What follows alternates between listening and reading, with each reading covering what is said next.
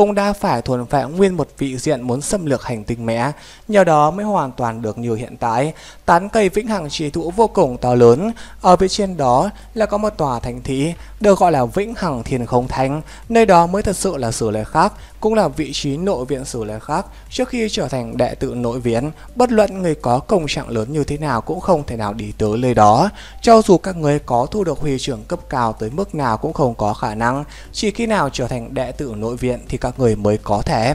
Vĩnh Hằng Thiên Không Thánh, mấy chữ này vừa ra, tất cả những học viên mới đều không khỏi thẳng tắp sống lưng. Dù kiêu ngạo như làm mộng cấm, giờ các này cũng không nhịn được mà lộ ra vẻ phấn khởi. Đây chính là Vĩnh Hằng Thiên Không Thành tồn tại ở trong truyền thuyết đó. Không có ai biết nơi đó có cái gì. Truyền thuyết nói nơi đó có cường giả thần cấp chân chính. Thì ra nội viện sử lại khác nội viện là ở chỗ này. Là Miên Vũ còn nhớ rõ, khi mình nhìn xuống từ không trung, chỉ có thể thấy được một tán cây khổng lồ, cũng không thể thấy đường cảnh vật trên đó, luôn luôn là một mảnh mây mù hư ảo. Vậy mà nơi đó lại có một tòa thành thị, đây là hạng kiến trúc khôi hoài tới mức nào cơ chứ? Trong lòng của Lam Hiền Vũ lập tức sinh ra liềm hướng tới mãnh liệt. Nội viện ta nhất định là phải trở thành đệ tử nội viện, không phải mộng tưởng của quý lão sư chính là tiến vào nội viện sử lai khác sao? Điều này khiến cho Lam Hiền Vũ không khỏi nghĩ tới vị đệ tử nội viện sử lai khác từng tới học viện Thiên La lúc trước. Lúc đó tất cả lão sư của học viện Thiên La đều rất tôn kính đối với hắn, cũng bởi hắn tới từ nội viện của sử lai khác. Đề tài bên ngoài đã nói nhiều như vậy, bắt đầu lên lớp, hẳn là các ngươi đều đã có những hiểu biết nhất định đối với đấu khải. Đấu khải thực chất là một loại áo giáp, có người nói là một loại cờ giáp không hoàn toàn đúng, cũng không phải hoàn toàn sai, phải xem sự nhận biết của mỗi người đối với đấu khải, mà hiện tại ta nói cho đúng. Đấu khải là một phần sinh mệnh của thân thể chúng ta, giống như chân tay của người, nó sẽ bảo hộ an toàn, tăng cường thực lực cho chúng ta. Lúc người cần nhất, nó chính là đồng bạn người có thể dựa nhất, mà điều chúng ta muốn làm, đó chính là không ngừng làm cho nó trở lên càng thêm cường đại, càng thêm đáng tin. Cứ như vậy chúng ta cũng sẽ theo đó mà trở lên mạnh mẽ.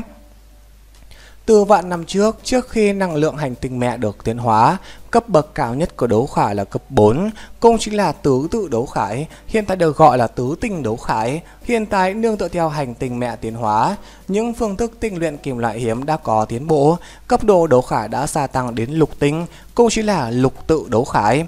Dĩ nhiên, ngũ tự và lục tự đấu khải không phải là thứ các người cần nghĩ tới trong hiện tại. Cho dù là năm chữ đấu khải cũng đã đạt mức cực hạn đấu la mới có thể có được. Trước kia, nhất tự đấu khải là độc lập bên ngoài cơ thể, tồn tại cùng lại với áo giáp, tới lúc sử dụng thậm chí còn phải tự mặc, đến nhị tự đấu khải mới có thể dung hợp với huyết mạch cùng với hồn lực, triệt để trở thành một bộ phận thân thể. Mà bây giờ, cách làm tân tiến nhất là bắt đầu luân tưởng nhất tự đấu khải, chế tác theo phương thức có thể dung hợp với thân thể của mình.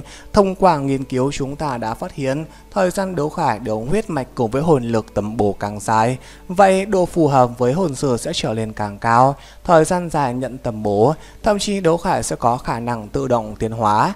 Dĩ nhiên phải do huyết mạch và hồn lực của hồn sư đủ mạnh mới được. Như vậy, chế tạo đấu khải các người sẽ phải làm gì đây? Việc chế tác đấu khải chia làm 3 quá trình. Thiết kế rèn đúc khắc họa hạch tâm pháp trận. Ba quá trình đều cực kỳ là trọng yếu, cũng liên quan đến ba nghề phụ trợ đấu khải sư ngoại trừ ba cái này thì còn có sửa chữa đấu khải tổng cộng 4 nghề phụ trợ đã được truyền thừa qua vạn năm Tại học viện sửa lẻ khắc của chúng ta đã từng có thiên tài đồng thời học tập chương trình học tập của bốn loại nghề nghiệp này, cuối cùng đã chế tạo ra một bộ đấu khải hoàn toàn phù hợp với mình, uy năng vượt xa những đấu khải đồng cấp khác. Đây là bởi vì hắn quá quen thuộc với đấu khải, nhưng học viện cũng không khuyến khích cách làm này bởi vì quá lãng phí sức lực đến mức không thể nào tu luyện như người bình thường. Thế nhưng mà muốn trở thành một đấu khải sư thì các người phải lựa chọn ít nhất một cái nghề phụ trợ. Nếu các người không tham gia giữa việc chế tác đấu khải của chính mình, vậy sẽ vô thường nắm giữ tinh túy của nó. Trong vòng 2 năm tới, năm thứ nhất đều là các người cần làm được là chọn cho tốt nghề phụ trợ mình muốn học tập, đồng thời đi đến một trình độ nhất định, ít nhất là phải có thể chế tác nhất tự đấu khải. Đồng thời, trong năm ấy các ngươi còn cần nghĩ kỹ phương hướng đấu khải của mình. Tuyệt đối không nên cỏ nhẹ chỉ vì nó là nhất tự đấu khải, mặc dù sau này có thể sửa chữa đổi hướng đi, nhưng một khi phương hướng của nhất tự đấu khải xuất hiện sai lầm, vậy thì sau đó có thay đổi cũng thiếu đi sự tầm bổ trước đó được khổng bù mất, định tốt phương hướng càng sớm thì càng có thể tiết kiệm thời gian. Đối với hồn sư, trước 40 tuổi chính là thời gian hoàng kim để tu luyện. Qua 40 tuổi, tốc độ tăng lên sẽ giảm sút trên phạm vi lớn, tu luyện làm nhiều công ít. Đến năm thứ hai, các người sẽ cần rèn luyện lẫn nhau, tìm đồng bạn cùng với chế tác đấu khải. Mà đến khi đấu khải thành hình, ta nói những thứ này các người đều hiểu chứ. Có điểm nào không hiểu hiện tại có thể nói. Lão sư, làm hiền vũ lúc này không chút do dự giơ tay lên. Tiếu Khải lúc này gật đầu một cái. Ngươi nói đi. Làm hiền vũ nói. Tiếu lão sư, nếu nào như vậy, vậy sự lựa chọn nghề nghiệp phụ trợ của ta cùng với những bạn học là sẽ phải khác nhau để có thể trợ giúp lẫn nhau sao? Không sai, bình thường là làm như vậy. Tương đối mà nói, trong bốn loại nghề phụ trợ thì khó nhất là gen, sau đó là thiết kế, khắc họa hạch tâm pháp trận là đơn giản nhất, bởi vì hiện nay đã có rất nhiều kinh nghiệm của các bậc tiền bối, có nhiều bản vẽ tham khảo. rèn đúc cần thiên phú, thiết kế thì cần linh cảm, còn sửa chữa sẽ phải hiểu sơ qua tất cả ba loại kia, tương đối hỗn tạp. Đệ tử của sửa lai khác bình thường sẽ không học tập sửa chữa, nghề này có trường học chuyên môn. Ta hiểu rồi. Lam Hiên Vũ ngồi xuống, hắn thầm nghĩ mình cùng với Lưu Phong và Tiền Lối vừa vặn chọn ba loại nghề phụ trợ, nhưng nên chọn như thế nào đấy? Thiết kế chế tác cùng với rèn đúc, mình nên chọn cái nào mới tốt? Lưu Phong ngồi ngay ở bên cạnh hắn thấp giọng nói, ta kém nhất có lẽ chọn khắc họa hạch tầm pháp trận đi, thiết kế cùng với rèn đúc liền dựa vào các người cối mập mạp. Các ngươi có tinh thần lực cao hẳn là sẽ dễ dàng tiếp thu hơn. Lam Miên Phụ khẽ gật đầu rồi nói, được, Hắn biết Lưu Phong không phải đang từ chối, đúng là hắn tự biết mình tới mức nào, mà Lưu Phong cũng cần nhiều thời gian hơn về mặt tu luyện. Tiếu Khải nói, Con ai có vấn đề không? Đúng rồi, có chuyện suýt nữa quên mất, các người đã là một lớp học, một tập thể vì vậy liền sẽ cần phải có ban cán bộ. Sự lệ khác tương đối đơn giản, ban cán bộ chỉ có hai người, lớp trưởng của một lớp phó, lớp trưởng phụ trách chỉ huy toàn lớp thống nhất hành động, đại biểu cho học viên của liên lạc với các lão sư, lớp phó phụ trách một vài sự vụ thông thường, hỗ trợ lớp trưởng quản lý toàn lớp. Chúng ta thực hành chế độ bàn cán bộ liên luân phiên trực ban, mỗi tháng một lần, tháng thứ nhất cứ lấy người có thành tích tốt nhất của đợt sát hạch tổng hợp đi. La miền Vũ làm lớp trưởng, Nguyên Đân Hủy Hủy lớp phó, một vòng luân phiến thì đại khái sẽ qua thời gian một năm. Về sau mọi người bỏ phiếu, tại tuyển cử của lớp trưởng cùng với lớp phó, người nào cảm thấy mình có năng lực thì tận khả năng mà bày ra trong lúc mình đang nhận chức. Nhớ lời của ta, một khi lớp trưởng có thể giúp các bạn học giành được thắng lợi cùng với tài nguyên, đó mới là lớp trưởng hợp cách. Thời điểm hắn nói câu sau cùng, cố liếc làm Hiền Vũ một cái, năng lực chỉ huy của làm Hiền Vũ đã được thể hiện vô cùng ở tốt ở trong đợt sát hành tổng hợp. Mà trong toàn lớp 36 học viên, nếu tính cả ba người Lý Hán, Lý Bân cùng với Sa Vũ, vậy thì ít nhất sẽ có 10 người ủng hộ hắn. Hắn làm lớp trưởng cũng thực sự là thực chí danh quý.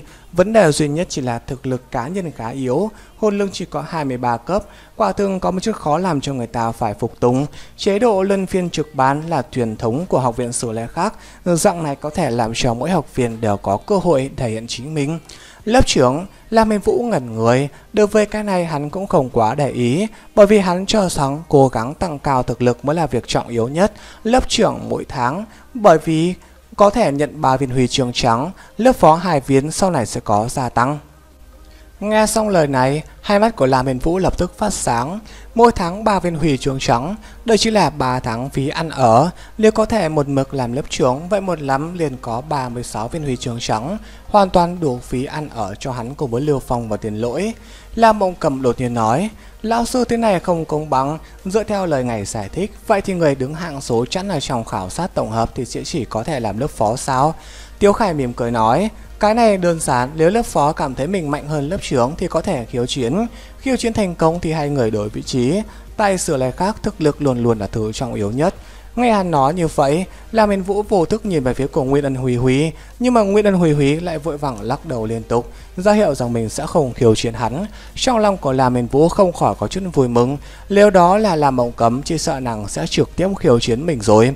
Mà với sự lực lượng bây giờ của mình thì khẳng định sẽ không phải là đối thủ của nàng, dù có dùng võ hồn dung hợp kỹ cũng không được, thực lực chênh lệch quá xa, chờ mình tới tam hoàn nói không chừng sẽ có khả năng thử một chút, mẫu chút vẫn phải lỗ lực để thăng thực lực của mình mới được.